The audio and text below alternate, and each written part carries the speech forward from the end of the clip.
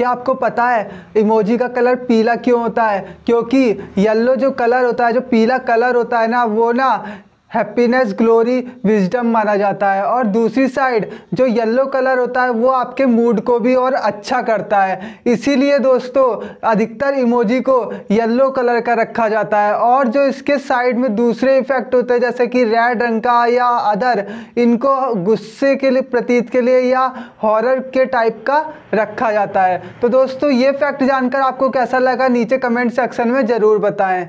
Thank you for watching और हमारे channel को सब्सक्राइब करें और बेल आइकन को प्रेस करें जिससे कि आप तक लेटेस्ट इन्फॉर्मेशन पहुँच सके।